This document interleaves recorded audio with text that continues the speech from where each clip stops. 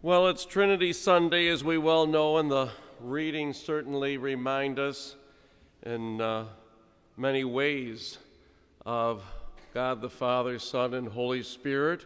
We hear of creation mentioned in the readings, going back to the beginning of time. We hear the words of Jesus himself, and we hear the promise of the Holy Spirit, the Spirit of truth. So, very clear that it's Trinity Sunday.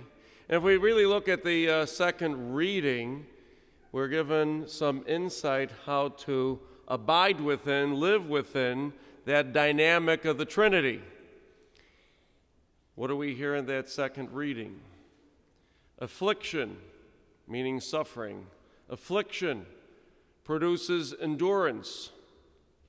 Endurance produces character.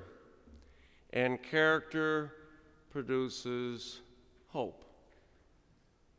Affliction, endurance, character, and hope, all elements of our relationship with the triune God as we abide within the life of the Trinity.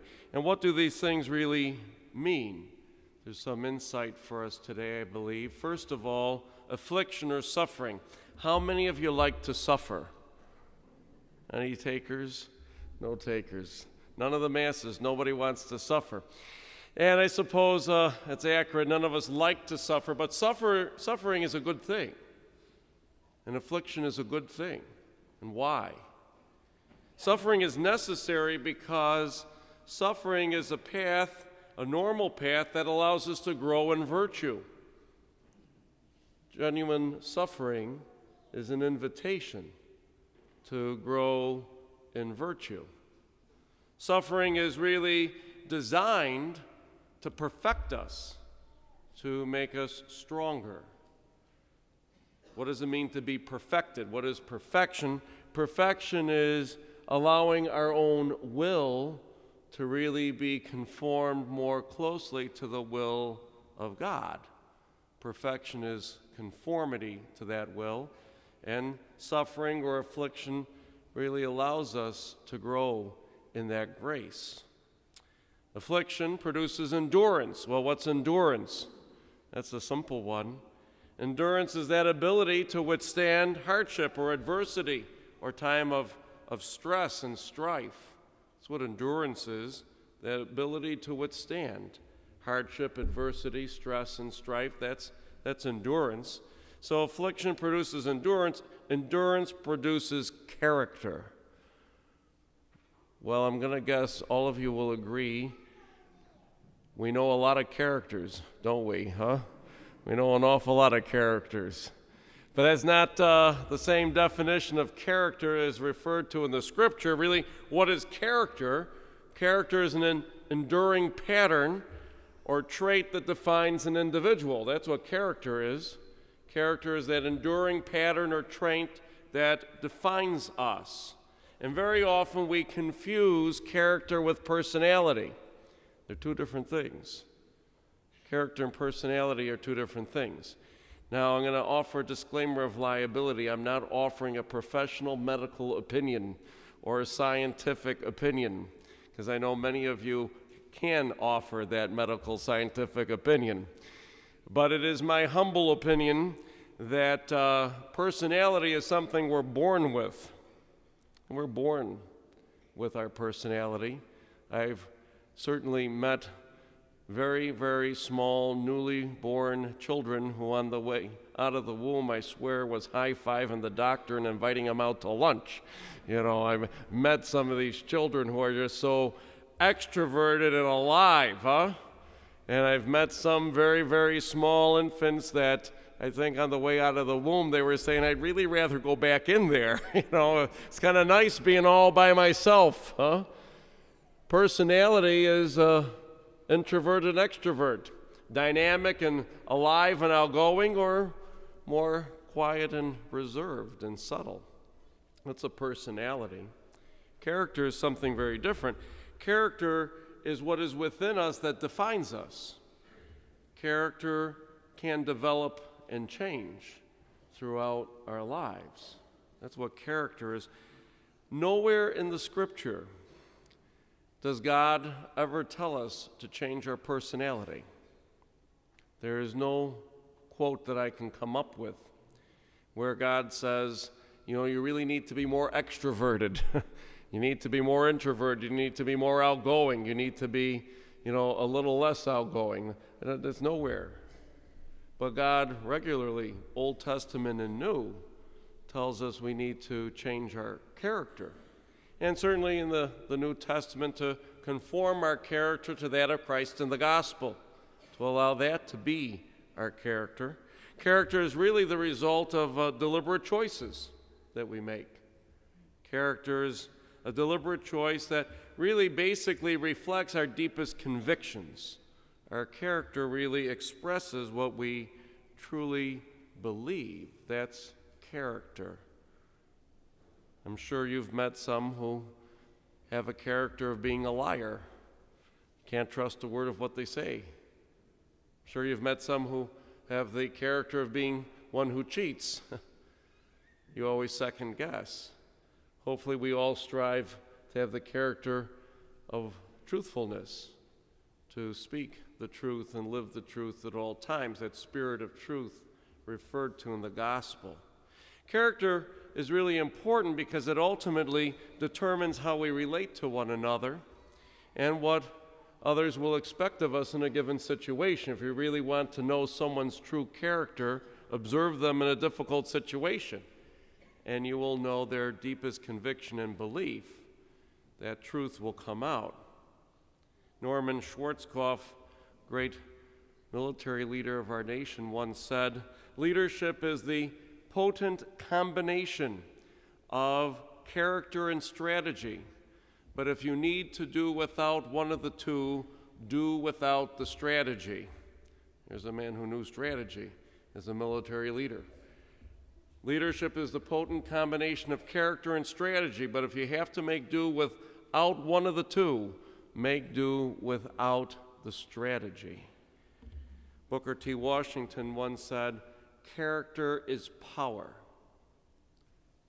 And isn't in our contemporary world what it's all about? Power.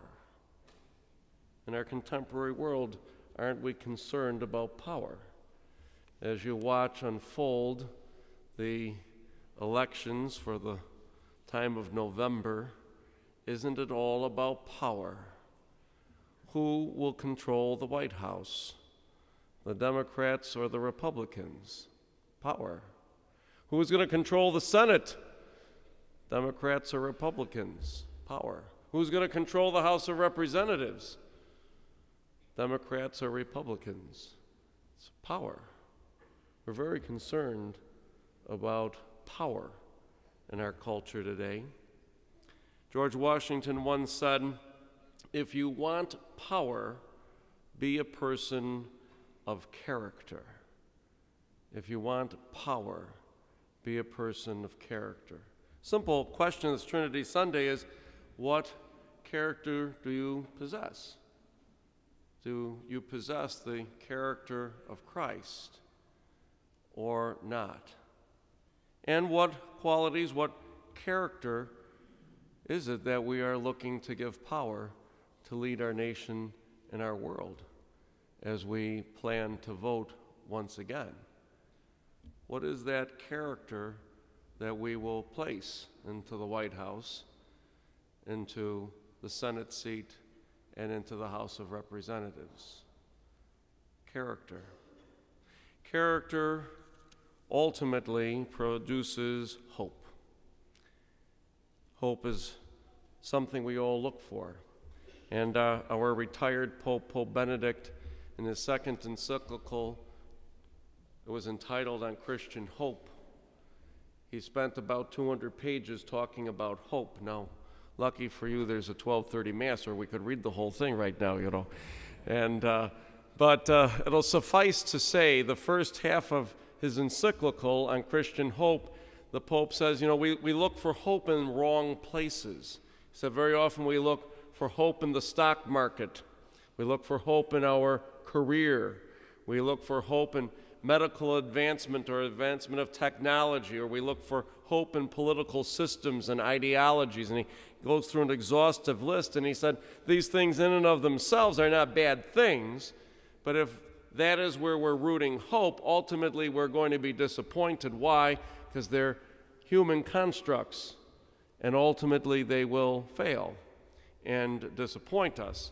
And he said, if we, if we really want hope, there are three places we need to look for hope, and I've mentioned these before, even put them into the bulletin in my pastor's article at Easter time. And I know you cling to every word I write, huh? But just in case you don't recall, the Pope called them three schools. He said, You really want to have hope? He said, First of all, the school of prayer. So if you want to have hope and you want to be an instrument of hope for others, you need to pray. Pray every day. Pray ardently, not just in asking and thanking for what we've received, but to spend time in genuine worship and praise, to spend time in adoration, to spend time in contemplation, to genuinely pray. And as you genuinely pray and listen to God, as I tell the teenagers on retreat, God gave us two ears for a reason versus one mouth. We're, we got to listen two times as much as we talk. I think that's another non medical opinion. Uh, as we listen to God, we grow in hope and can be that instrument of hope. Secondly, the Pope said if you want to learn hope and be an instrument of hope, go and do something. He called it the school of action. Serve someone. Story I know I've told a few times. I'm not sure in a homily at Sunday Mass, though. Back the first time I really learned this was 30 years ago when I first entered the seminary. My first summer assignment was at St. John Kanty Parish on Broadway in Swinburne on the east side, tough neighborhood. And we ran a soup kitchen there. One of the things I had to do Monday through Friday was peel potatoes and wash pots, pans, and trays. It was an easy job. I'm Polish. It's, we clean. That's what we do. It was, you know, it's easy. and, uh, and, and one day it got very hard because Father Bob Golumbek, the pastor, came to me and he said, Kid, follow me. And I put down the apron from washing the dishes and he put a tray in my hand and uh, he said, Go through the food line. And he did the same with me. And when we got to the end of the line, he said, Now go and sit with someone and listen to them. Said, We all know you know how to talk. Please listen. Listen. And so I sat with a young man. He was about 30, 35 years of age. And I listened to him. I learned that he had a master's degree. I learned that he was married and had children. And I learned that he had at one time a very successful career. But then I learned all of the events of his life that led him to be indigent here, I thought I was providing hope for him with a meal five days a week. And by the end of listening, the great gift of hope he gave to me is he taught me the very delicate balance of life and how, for any of us, that can change at a moment's notice. Gift of hope. Do something, that school of action. And finally, the Pope said, if you really want to have hope and be an instrument of hope, suffer with Christ on the cross. Back to the first point to find laying down your life for someone else to suffer with and for them, or to accept whatever suffering comes your way and grow in grace, is a way to learn hope and be that instrument of hope. Today, Trinity Sunday, we simply reflect on our own ability to suffer and to allow that to produce endurance in our life, and to allow that endurance to produce character and to question do we have the character of Christ? And if we have that character of Christ, are we really that instrument of his hope in the world today?